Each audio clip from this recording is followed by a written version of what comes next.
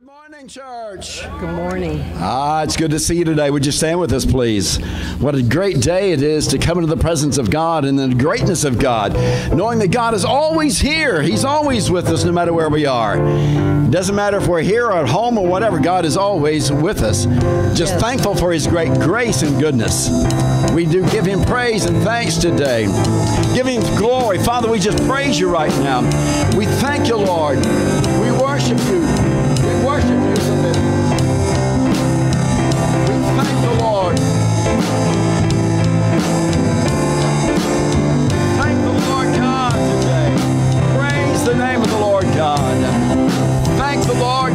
Jesus. Bless the name of the Lord.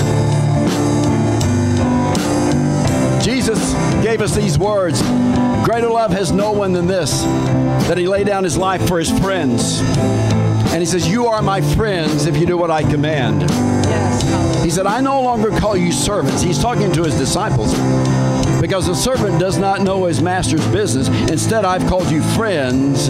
For everything that I have learned from my Father, I have made known to you. We are friends of God today. And I'm glad that He has provided us that relationship today. We are thankful today that we are a friend of God today. We give Him praise.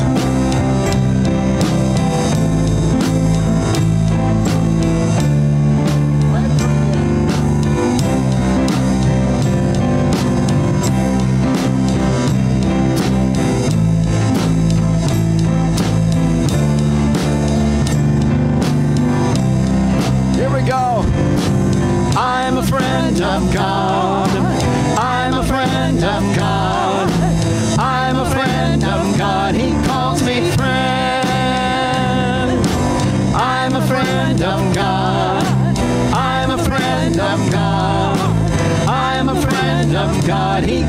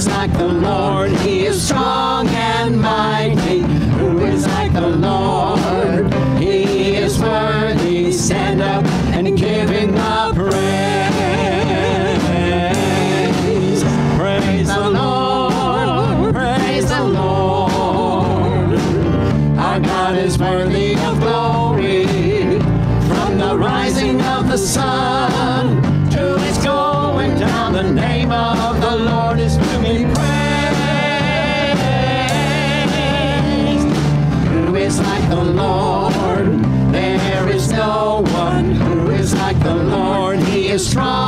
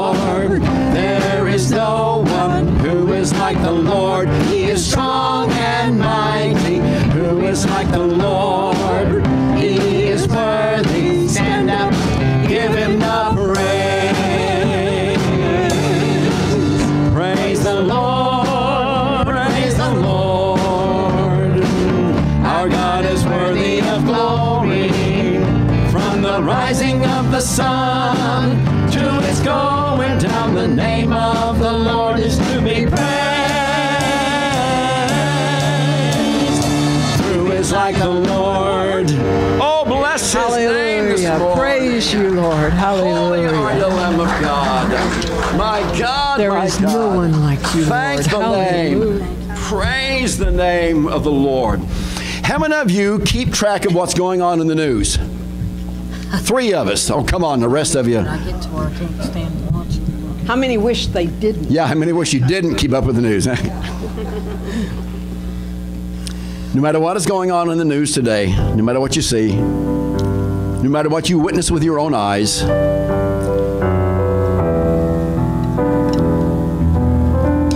our God is great. Yes. The splendor of King, clothed in majesty.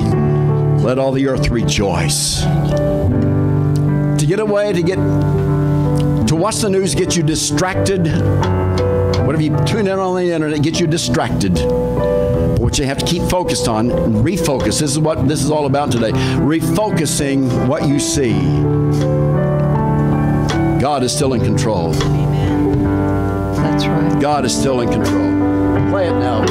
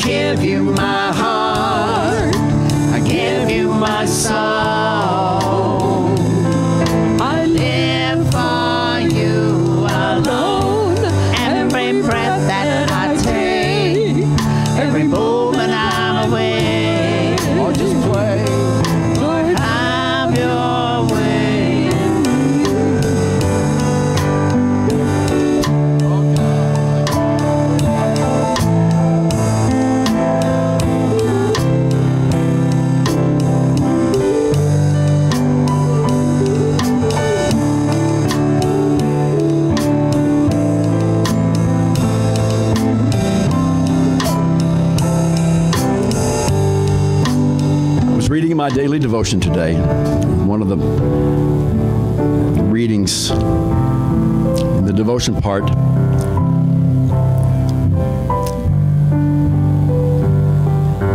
said that we must pre surrender to God. And I read it and I thought, that's the lamest thing I've, I've, I've read lately. I must pre surrender to God. But as I read further into it, too many times we want to say, okay, God, I'll do this, but let me know what it is you're asking me to do. And we have to come to the place of saying, God, I will do whatever you ask me to do. Yes. I will do that. Then we allow God to fill in the blank. That's right. This is my desire to honor you. Lord, with all my heart I worship you. All I have within me, I give you praise. All that I adore is in you. Lord, I give you my heart. I give you my soul. I live for you. We never know what God is going to ask us to do, but we've got to set it up beforehand. Before He asks, we've got to be willing to say, God, I'll do whatever it is That's right. you have asked me Yes. to do. Amen.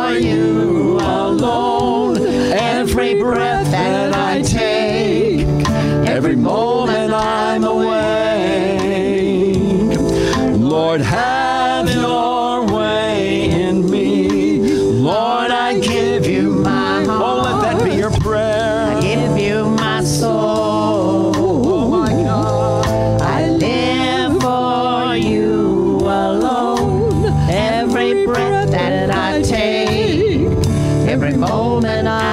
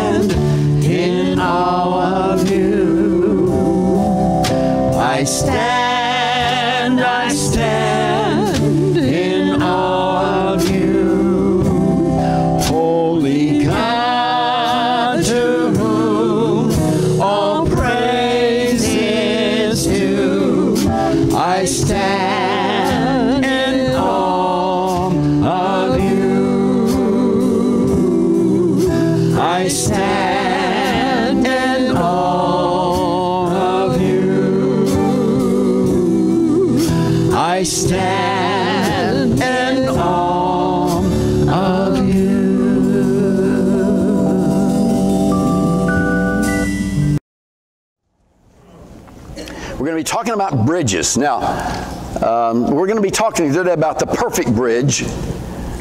Um, but we're going to be dealing with bridges. By the way, that was that's uh, San Francisco Bridge.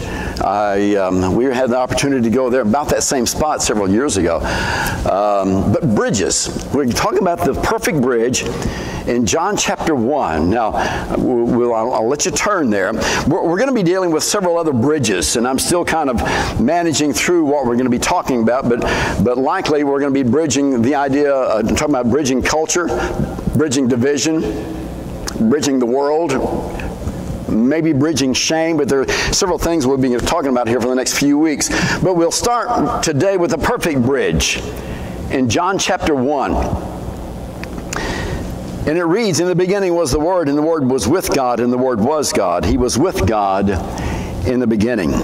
Through him all things were made. Without him nothing was made that has been made. In him was life, and that life was the light of men. The light shines in the darkness, but the darkness has not understood it. There came a man who was sent from God. His name was John. He came as a witness to testify concerning that light, so that through him all men might believe. He himself was not the light, he came only as a witness to the light. The light came that gives light to every man, uh, as was coming into the world. He was in the world, and though the world was made through him, the world did not recognize him. He came to that which was his own, but his own did not receive him. Yet to all who received him, to those who believed in his name, he gave the right to become children of God. Children born, uh, born not of natural descent, nor of human decision, nor a husband's will, but born of God. For the Word became flesh and made his dwelling among us. We have seen his glory, the glory of the one and only, who came from God, from Father, full of grace and truth. There's a story of two brothers had adjoining farms. And they fell into conflict with each other. after working together for 40 years, huge divide. It was something small, but, but, but one thing led to another, that led to something else, that led to something else, and finally it, it exploded in this huge exchange of bitter words and angry insults, followed by weeks of silence. One morning there was a knock on the older son's brother, the older brother's door. And he stood, opened the door there, stood there with a, with a carpenter's, a, a carpenter with a big toolbox. And the guy says, I'm looking for a few days hard work. Perhaps you have some small jobs around here that I could, I could help you with. He says, Well, you know what? Come to think about it, yes, I do. He said, Look across this creek here. See that farm over there? That's my brother. And last week, my brother got out there with a with a with a, a, a backhoe and dug this trench, this ditch between us. So I'm thinking, all right, there's a whole pile of wood over there. Build me a wall so I don't have to look at his at his place over there. Guy says, show me the pile. Got the nails, I got them. Guy starts to work. He tells the guy, the owner says to the worker, says, I'll be gone until later on in the day. Guy says, it'll be taken care of. Guy goes to work, carpenter goes to work. At the end of the day, this guy comes home and there's no wall, there's no fence there. Instead, this guy built a bridge from this guy's property to his brother's property. Well, the owner just threw a fit. How many of you know what a hissy fit is? Yeah, he, he threw one of those. You did not do what I told you to do. And as he looked up, he sees his brother coming toward him. And his brother gets on the middle of the bridge and just stands there. And finally, the guy goes, meets his brother. The younger brother stretches out his hand and says, You're quite the guy. After all I've said and done, they shook hands, separated their, uh, got their, the separation back together again. When they saw the carpenter leaving, the older brother says, Wait a minute, wait a minute. I've got some of the projects for you to do. And the guy says, You know, I'd love to, but I have a lot more bridges to build. Dictionaries define bridges as a structure over a river or chasm to provide a way of cross. Greg, you're in one area, and I'm in another area, but, but I can't get to you. I need something to bridge that gap. There's, there's, a, there's, a, there's a divide, a chasm between us. Now, a bridge can be something very simple. It can be just a, a plank across the, the, the creek or, or a log that has fallen across the way, or it can be the Golden Gate Bridge. Let me show you some other bridges. This is the world's longest walking bridge found in Switzerland. Now, I don't mind bridges. I don't know if I could get across this one. There's just something about that that I look at that and think, no, nah, I'll stay here. Let me show you another bridge. This is the Tower Bridge in London. I've been to London, and I've been near this. It's a massive, incredible structure. Beautiful bridge. That's a serious bridge. But and then there's this one. This is the Harbour Bridge in Sydney, Australia. Usually on New Year's Eve, you'll see this one lit up for with fireworks, celebrating the new year. We get to see that several hours before it finally gets to us. But this is Harbour Bridge. Beautiful bridge. Bridges can be magnificent structures like this, or it can just be a plank laying out there. Whatever the bridge, they all do the same thing. They provide access across a divide that would normally not be able to cross.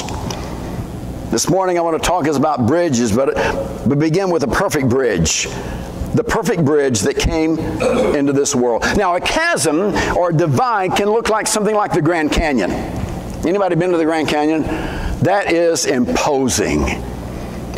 And, and, and the times I've been out there, I've, of course, I've always had a camera, and I think, oh, this is fantastic. And you shoot a picture, and you get it back, and you think, oh, well, that's junk. I mean, that's, that's not even close to what it looked like. There is just no way to capture when you see the magnificence of the Grand Canyon. There's no way to put that on a print, on a digital print, and say, yep, that's what it was like. No, it's phenomenal. And sometimes the chasms, the bridges, the, the, the, the, gaps in our lives may seem like that. And a chasm may be something that looks like it's impossible to bridge. You can't get from here to there because it is too big, it is too deep. Today we're going to be talking about a chasm, but the chasm I'm speaking about is the chasm or the divide that lies between a holy God and a sinful people here on earth. And the bridge between those two is nothing more than the name of Jesus. The bridge is the cross of Jesus Christ in which he died upon to give us life eternal. That bridge is Jesus. That's why he is the perfect bridge to bridge the gap, the chasm between all of humanity and a holy God.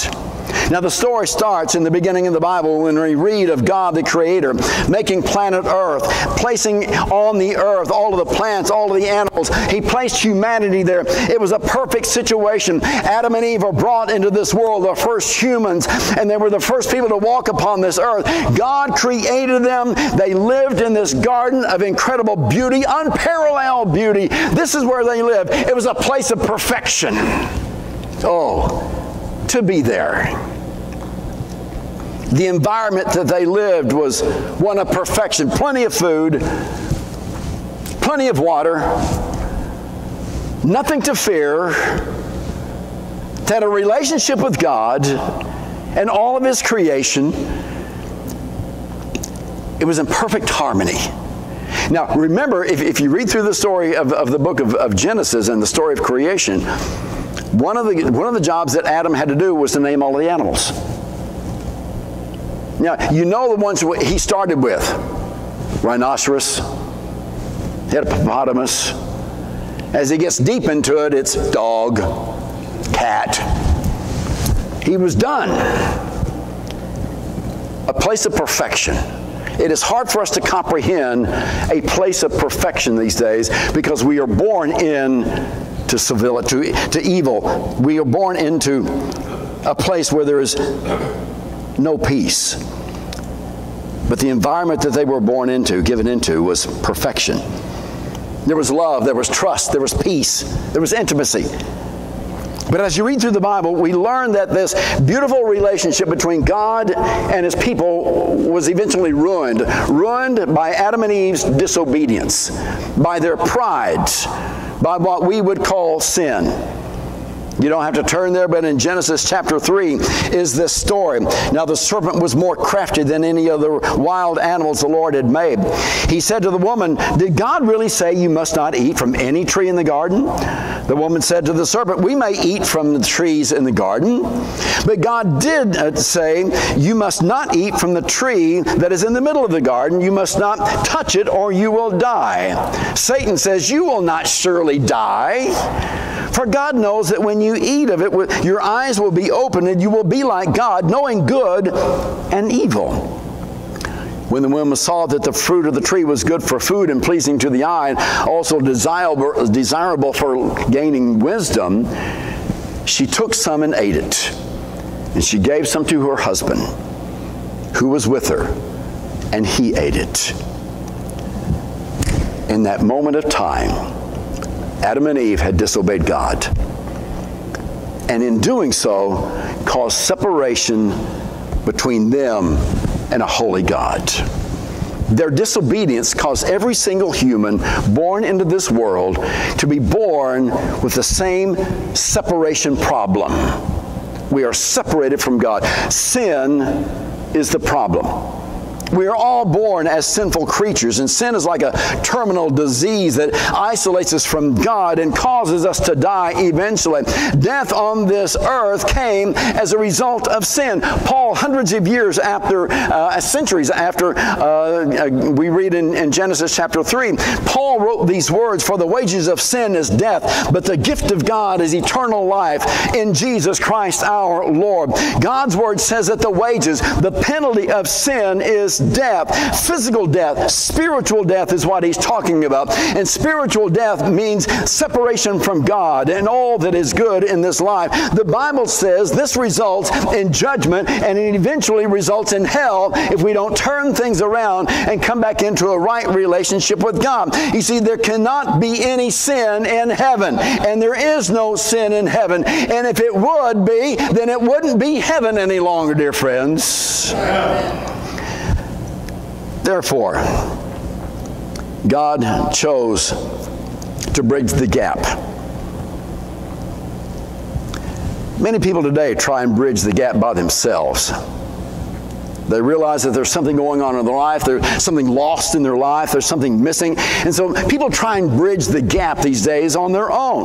They want a relationship with God, they want to get to heaven, and they will try all sorts of things to get that way. Now, one of the ways in which people try and get to God is through religion.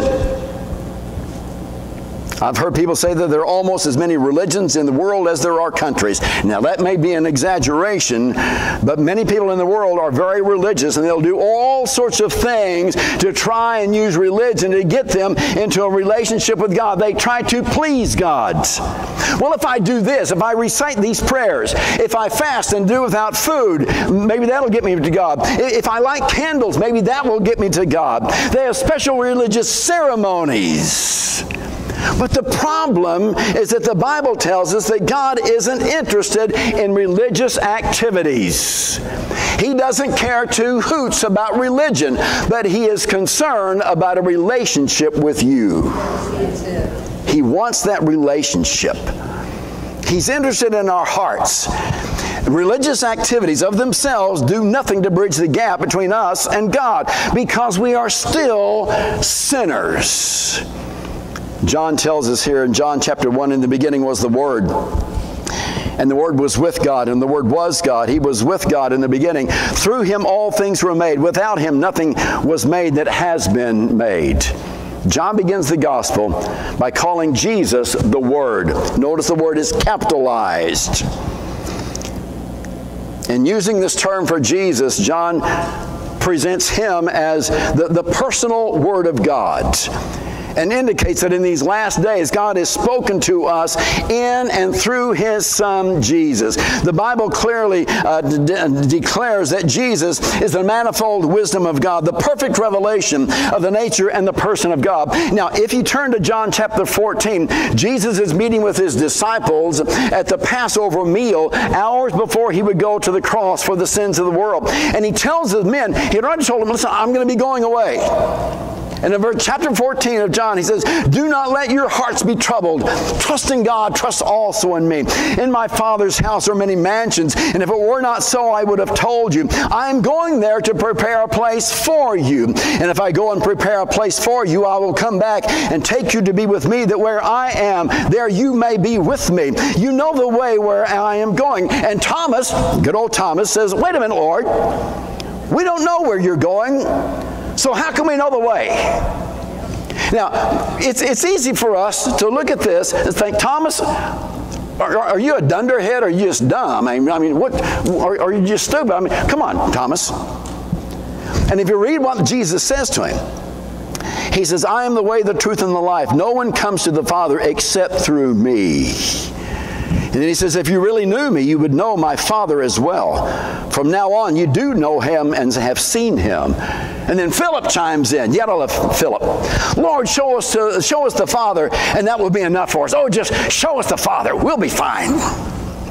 Now, at this point, Jesus gives a little bit of a rebuke. Have you been rebuked at one time or another? I mean, by God or maybe a spouse. Anyway, I mean, we will go there. Jesus said, Don't you know me, Philip? Even though I've been among you for such a long time? Anyone who has seen me has seen the Father. How can you say, Show us the Father? Come on, Philip. Don't you believe that I am in the Father and the Father is in me? The words I say to you are not just my own, rather, it is the Father living in me who is doing his work. Now, Bible historians believe that it was 50 or 60 years after the events of John chapter 14 that John begins to write his gospel. So 50 to 60 years. And I see in my mind's eye is, and, and, and it is believed that, that, that uh, John was in Ephesus when he writes the book, uh, the gospel. And so 50 or 60 years removed from that scene in the upper room with Jesus, John begins to write his gospel, and empowered by the Holy Spirit, he remembers the words of Jesus. In the beginning was the Word, and the Word was with God, and the Word was God. He was with God in the beginning, and through him all things were made. Without him, nothing was made that has been made. You see, Jesus was not created. He is eternal. He has always been in fellowship with God the Father and God the Holy Spirit. There has never been a separation in that in the Trinity. God, uh, Jesus was always there. He was always part of the Trinity. And he tells his disciples, if you've seen me, you've seen the Father. This is all that you need in this life. You've seen the Father. You've seen me. You've seen me. You've seen the Father. We, they are one. You cannot separate that at all. Paul was talking about Jesus when he gave us these words in Colossians chapter 1. He is the image, he, Jesus, is the image of the invisible God, the firstborn of all creation. For by him all things were created, things on heaven and on earth, visible and invisible, whether thrones or powers or rulers or authorities, all things were created by him and for him. He is before all things, and in him all things hold together. And then John writes in John uh, chapter 1, verse 3 Through him all things were made. Without him nothing was made that has been made. Jesus was at creation. He created all life forms. He is the perfect example uh, to the world of what creation was all about. But because of sin, that relationship was shattered. That relationship caused a divide. The sin of Adam and, Adam and Eve broke a relationship with God, and now humanity is separated from a holy God, and how are you going to get that back together again? If you read all through the Old Testament and the nation of Israel, everything that, that, that, was happening through them coming out of bondage, uh, Egyptian bondage, all of that mixed together was God bridging the gap between man and humanity. I'm thankful that you did not bring your goats and sheep this morning for me to kill an altar, uh, an offer on an altar of sacrifice. I'm glad we did not do that. I've even gotten to the point I don't clean fish anymore. I just throw them back in. But all of that was starting to set up God trying to reach out to humanity. If you read the, about the nation of Israel, it, it, it, went sideways. They begin to think, oh, we're, we're somebody. And Finally, Jesus came. Sin disrupts life. If there's anything else in this world, sin disrupts life. Think, think of your own situation. Has sin disrupted your life before? Sin is defined as grasping of things or pleasures for ourselves, regardless of the welfare of others and the commands of God, which leads to cruelty to others and rebellion against God. Mankind was created without sin, morally upright and inclined to do good.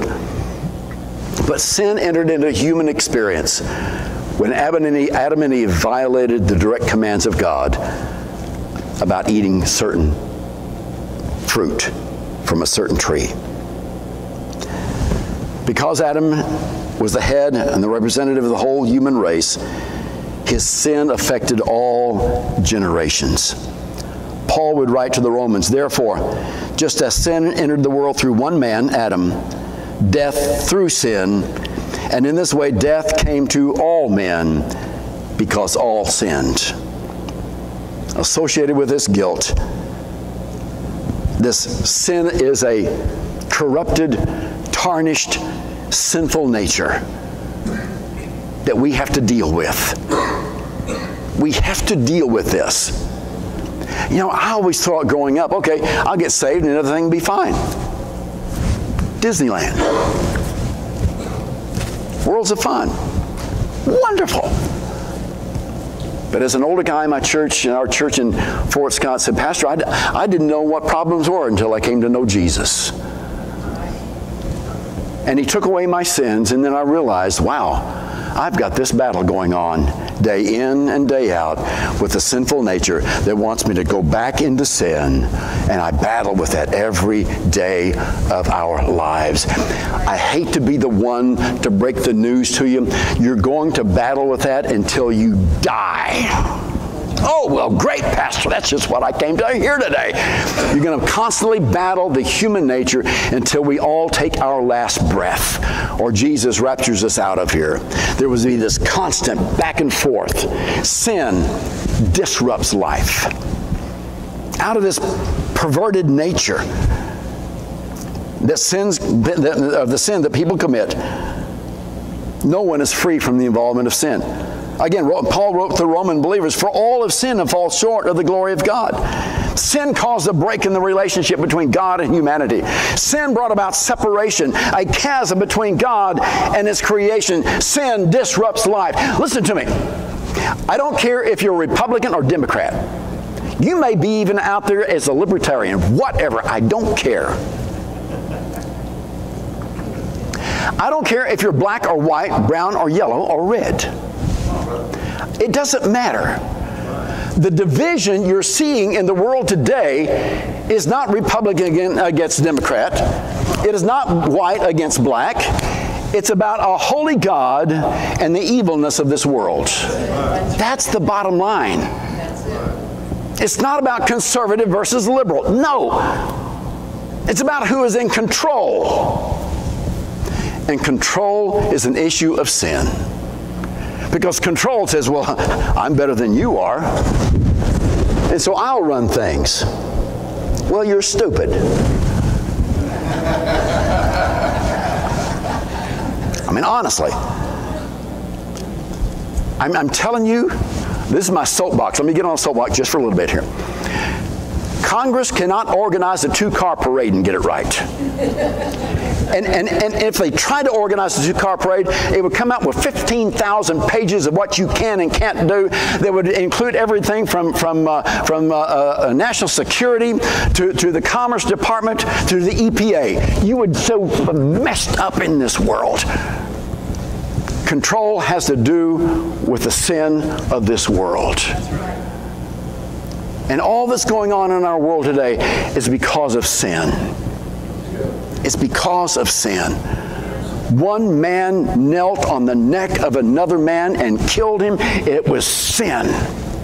I'm sorry. I don't care what side you're on. It's sin, dear friends. It's sin. That's what is going on in this world. It's not political, it's sin sin disrupts life. Sin of uh, Adam and Eve didn't just stop there. It was expressed later when their son, Cain, killed his brother Abel. Once sin came into society, expanded, it grew with an incredible rate. From the time of Adam and Eve, here we go, from the time of Adam and Eve until you get to Noah, and God singing in the flood. From Adam and Eve to the time you get to Noah and the flood, it's about 15 to 1600 years, 1,500, 1,600 years. About that much time passed by from Adam and Eve to the flood of Noah.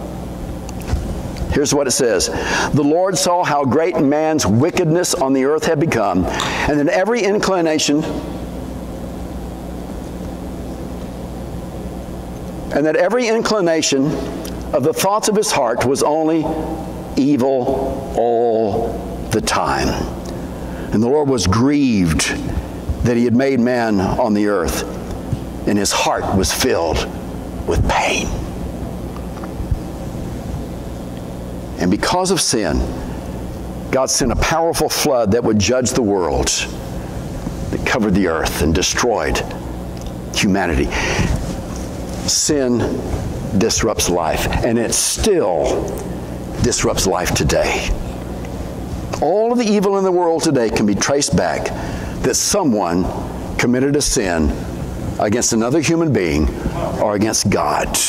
The anger, the aggression, the hostility, the discord that we're seeing on the evening news relates to sin. Everyone must admit slavery is a disgusting evil that has characterized our nation for too many years. Slavery is still going on today. According to a recent report, 25 million people are enslaved today. 25 million people worldwide are enslaved today. Now we call it human trafficking. We kind of cleaned up the words, but it's still slavery. It still exists in the world today. Paul would write against the sinful nature. And he said, So I say, live by the Spirit, and you will not gratify the sins of the sinful nature. Uh, for, for the sinful nature desires what is contrary to the Spirit, and the Spirit what is contrary to the sinful nature. They are in conflict with each other, so that you do not do what you want. Saints, as long as you have breath, you're going to be at odds with your sinful nature. It's a constant battle that will rage in your life till the day you die. Sin disrupts life. Guy tells a story. He was visiting some friends of his, and in the bedroom where he was staying, he had they had had a little cage with a hamster in it. Hamster's name was Hammy, of course. And in this cage, this hamster had everything it needed. It had some, some uh, cedar um, shavings for a bed and had plenty of water and food and, you know, everything you'd need. Had a little wheel inside there. Now, apparently, Hammy had some issues. Instead of getting in the wheel and running and getting some exercise, he had found out a way to get on top of the wheel and kind of balance there for a while until eventually the, the weight of it would begin to move and it would drop him on his head. Boom! And he kind of shake himself a little bit and he would crawl back up and manage the best he can and get on top of that thing and, and just kind of lay there until finally the wheel started to turn and boom! Same thing again. And he began to wonder why? Why would a hamster who has everything everything he needs, disregard the wheel's proper use, and do something that only hurts himself. And then why would he do it again and again and again? But the bigger question is this why do we, supposedly smarter than hamsters, do the same thing again and again and again and again and again? Is because we wrestle against the sinful nature that is at battle with God. Sin disrupts life. Here's another thing that it does. Not only does sin disrupt life, but it separates us from God. Here's this chasm, this divide. People are lost from God. They're separated from God. And here's where society needs a bridge. One of the oldest questions of mankind is, has been asking, how can I know God? How can I get to God? How, what is He like? How can I please Him? How can I get to heaven? If we, if we work hard enough and, and, and, and be a good person and, and, and help other people, then surely that will get His attention and He'll get me into heaven. No. The only answer to get to God is what's called the gospel. And the Bible talks about he refers to it as the good news, by the way. And the good news is that we can have a relationship with God. We can bridge this chasm, this gulf that is between us and God. Sin separates us from God, and everything changed. Uh, for all of sin and falls short of the glory of God. The writer of Isaiah says, We're told your iniquities have separated you from God. Your sins have hidden his face from you, so he will not hear you. It's especially bad news because there's no way to get across that gap on our own.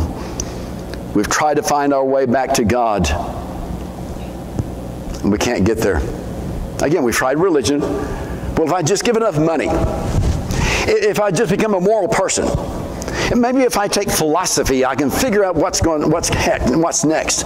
Maybe if it's just more education any number of ways people try and find their way to God, and none of them works. The only way to get to God, the only way to find peace with God is what the Bible tells us, which is the gospel, which we come to Him and say, God, I'm a sinner. I need you. I ask your forgiveness. Paul says, but God demonstrates His own love for us that while we were still sinners, Jesus died for us. That's the good news. Dear friends, Jesus has already done the work for us. All we have to do is come to Him and admit, I am a sinner sinner. I need your help. I need forgiveness. Oh God, come into my heart and life. The work has already been done. There is nothing you can do in this life except accept Him by faith, dear friends. You cannot work your way into heaven. You cannot buy your way into heaven. You cannot, well, if I attend to church on Wednesday nights, I'll be there. No, no, no, no. Wednesday nights will not save you, dear friends. It will not get you anywhere but time away from your home. It will come into the presence of God when we say, God, I'm a sinner. I need your saving grace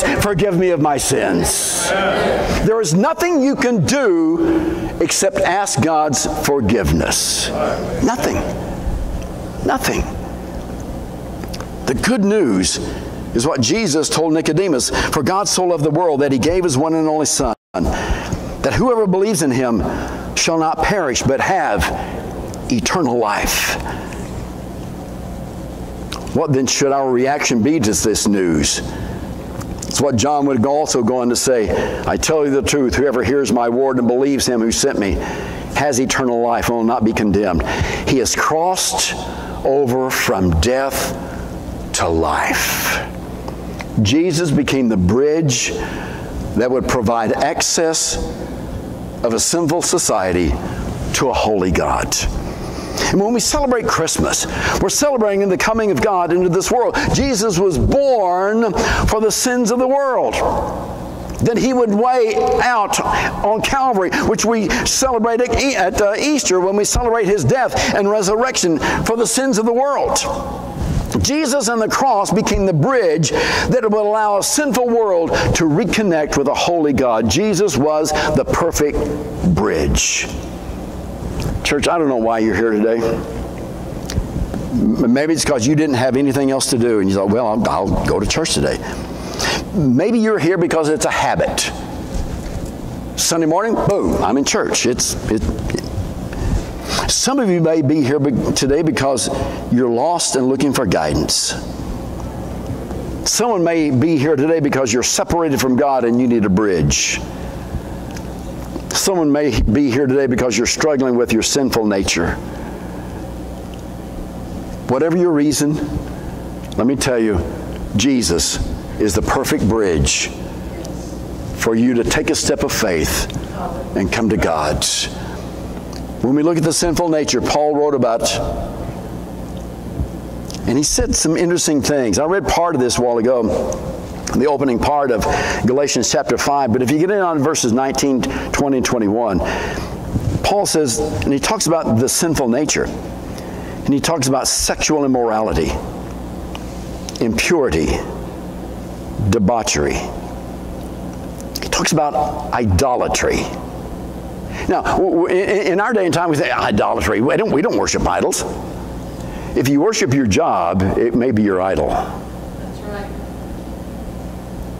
If you worship your home, it may be an idol. If you worship your bank account or your car, it may be an idol. He says witchcraft.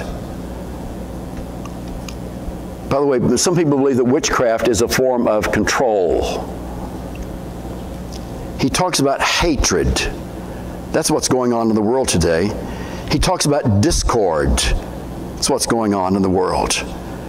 One of the sinful natures is that of jealousy, fits of rage, selfish ambition, dissensions, factions, envy, drunkenness, orgies, and the like.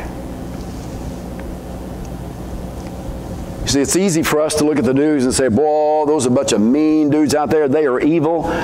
But the acts of the sinful nature can be these jealousies,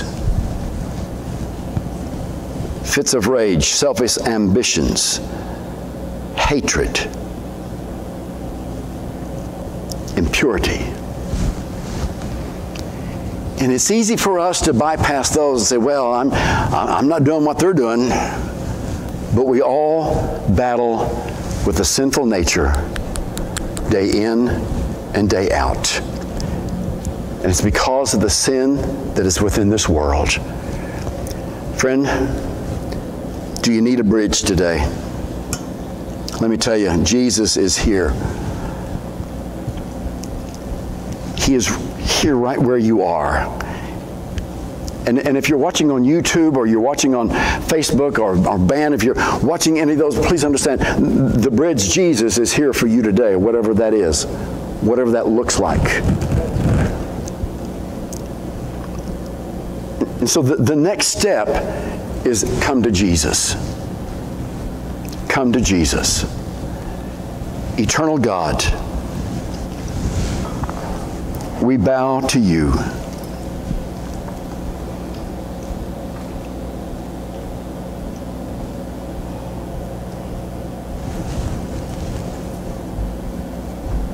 Eternal God,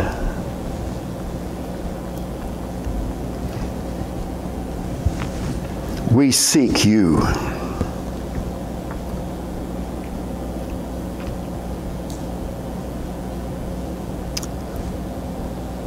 Jesus, we know that you came to be the perfect bridge, to bridge the gap, the divide, the chasm between sinful humanity and a holy God. I thank you, Jesus, for dying on the cross and rising from the dead three days later. I thank you for that. I thank you that you became the perfect bridge so that I can have a relationship with you and God the Father. Holy God, speak to us.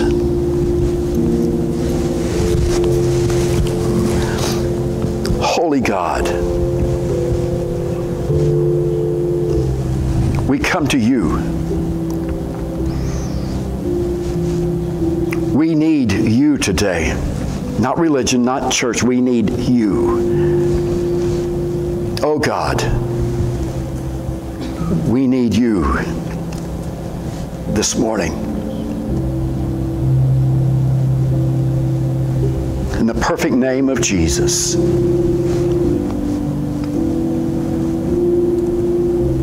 Amen.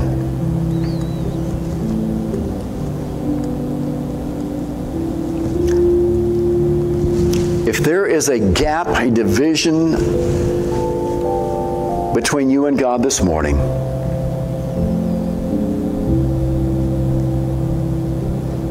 I encourage you to call upon Jesus right now. Maybe you want to come to an altar. Maybe you want to kneel right where you are. Maybe you want to pray for someone that you know is not in a relationship with God, a current relationship with God, and they need Jesus.